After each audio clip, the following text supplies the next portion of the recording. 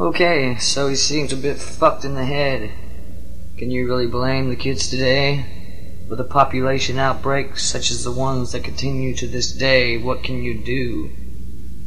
Poor education, bad religion. Oh yeah, and daddy's got them Vietnam symptoms. Done slap little sis to the floor.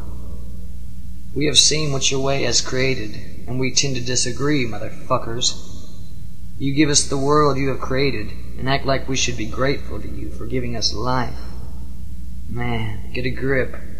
You're the ones who should be institutionalized. It's a sad, sad day, my brothers and sisters.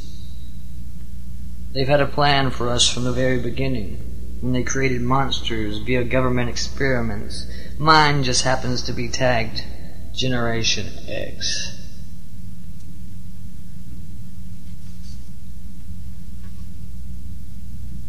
Generation X is the byproduct government experiments that have failed and were forgotten about.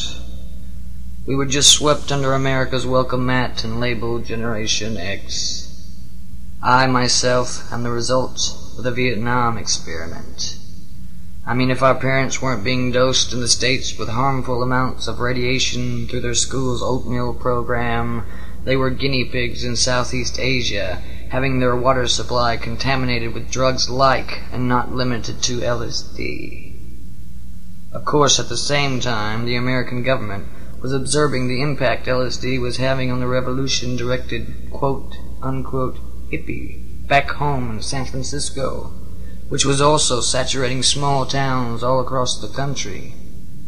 The target population started with the most threatening of internal forces, diversity the same way AIDS would be administered to San Francisco and New York a generation later. Shock testing, I believe, is the correct terminology. Anyway, I propose that a study be undertaken to determine what effects swimming around in our parents' anatomy while being blown apart by grenades and being internally raped by foreign, untested chemical agents and the fear and paranoia that accompany had on us, the forced participants. This should one day be looked back upon as yet another dark and repressed period in this country's already ominous history. Should this not be considered as a very possible cause with its effect on the current declining Western civilization, and when considering how fucking neurotic we Americans are, well, of course. Nowadays, Generation Y is running the stock market at five years of age. They are being technologically oriented and enriched with that good old American consumer desire. But in one form or another, they are without a doubt in some form of Skinner box, same as we all are.